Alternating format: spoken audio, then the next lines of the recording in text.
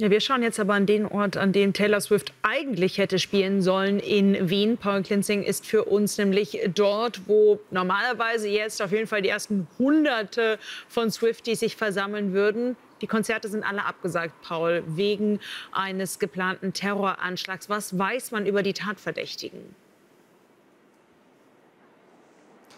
Ja, fangen wir vielleicht mit dem Hauptverdächtigen an. Der 19-jährige Österreicher, also österreichische Staatsbürgerschaft soll er haben, aber auch Wurzeln nach äh, Nordmazedonien. Ja, und im Internet äh, ist dann ein Radikalisierungsvideo von ihm aufgetaucht. Heißt, er hat sich zum ISPK angeblich äh, bekannt. Und dem ISPK will ich auch noch mal kurz erklären.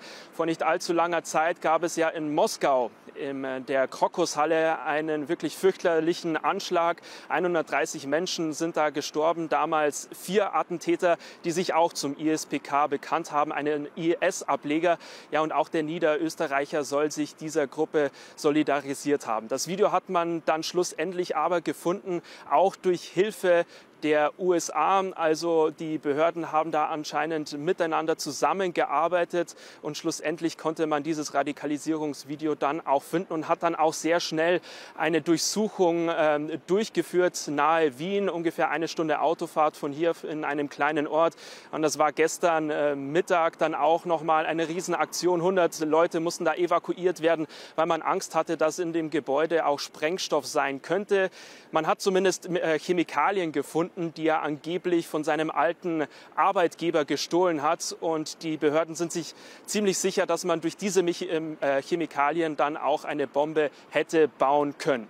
So zum 19-Jährigen. Äh, dann gibt es noch den 17-jährigen äh, zweiten Tatverdächtigen, von dem ist jetzt nicht so viel bekannt. Man weiß nur, dass die beiden Personen mit Hilfe eines verschlüsselten Chatdienstes miteinander kommuniziert haben und auch diesen Anschlag geplant hatten. Auch hier beim Taylor Swift-Konzert. Man geht äh, tatsächlich auch von einem Selbstmordattentat aus. Und dann gibt es noch drei Tatverdächtige, von denen weiß man jetzt aber noch nicht so viel. Das hat wahrscheinlich auch alles mit ermittlungstechnischen Gründen zu tun. Beide oder alle drei sind ja noch auf der Flucht. Deshalb will man da nach außen wahrscheinlich noch nicht so viel preisgeben. Aber es wird europaweit nach diesen drei Personen gesucht. Ja, und eben weil sie auf der Flucht sind, ist es zu gefährlich, jetzt diese Konzerte doch stattfinden zu lassen, heißt es. 200.000 Menschen wären erwartet worden. Wie fallen denn die Reaktionen jetzt aus auf diese Absage? Ja, vielleicht kann man Taylor Swift auch noch mal ein bisschen einordnen. Die US-Amerikanerin zurzeit ja auf Europatour. In Deutschland war es ja wirklich sehr, sehr erfolgreich.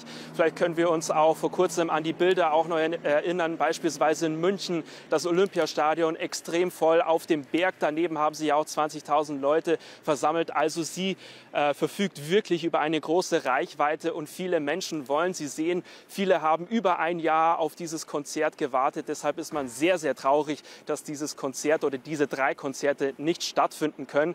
Aber schlussendlich kann man das, glaube ich, aber auch irgendwie verstehen. Natürlich äh, diese Bedrohungslage ist viel, viel wichtiger, zumindest viel, viel wichtiger, dass das jetzt wirklich abgesagt wurde und dass nichts passiert ist. Aber trotzdem ein Wehmutstropfen für die ganzen Swifties, denn die Konzerte sollen jetzt nicht nachgeholt werden, aber die Preise sollen äh, zumindest für die Tickets zurückerstattet werden. Nur ein sehr kleiner Trost, aber die Sicherheit, die geht natürlich vor. Paul, danke dir.